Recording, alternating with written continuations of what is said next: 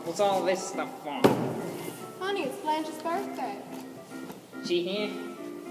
Yeah, she's in the bathroom. Washing out some things? I so. How long she been in there? All afternoon. Soaking in a hot bath? She says it cools her off for the evening. T- temperature 100 degrees on the nose, and she's soaking herself in a hot tub. Say it's only a paper moon sailing over cardboard sea. But it wouldn't be make believe if you believed in me. You know, she's been feeding us a pack of lies here. No, I don't. And Well, she has, however. But now the cat's out of the bag. I found out some things. what things? Things I already suspected. And I got proof from the most reliable sources, which I have checked on. Lower your voice. Yes, it's only a canvas sky hanging over muslin trees. But it wouldn't be make believe if you believed in me. Line number one. All the squeamishness she puts on. You should just know the line she put through to Mitch. Sister Blanche is no Lily. Ah, ah, some Lily she is. Heard what and who from? Our supply man down at the plant stops at a hotel called the Flamingo.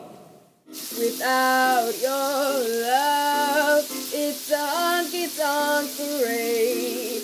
Without your love, it's a melody played in a penny arcade. She moved to the Flamingo, a second class hotel which has the advantage of not interfering in the private social life of the personalities there. I just posted.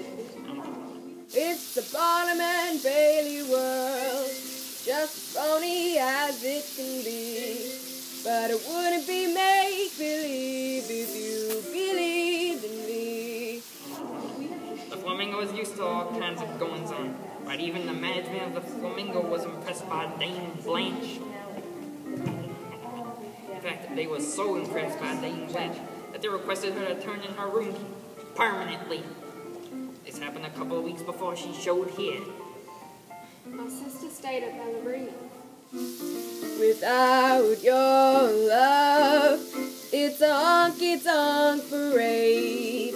Without your love, it's a melody played in a penny arcade.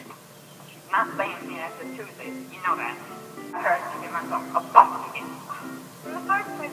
Blanche wouldn't go on the bus. She'll go on a bus and like it. Oh, she won't, Stanley, she won't. She'll go, period. And P.S. She'll go Tuesday.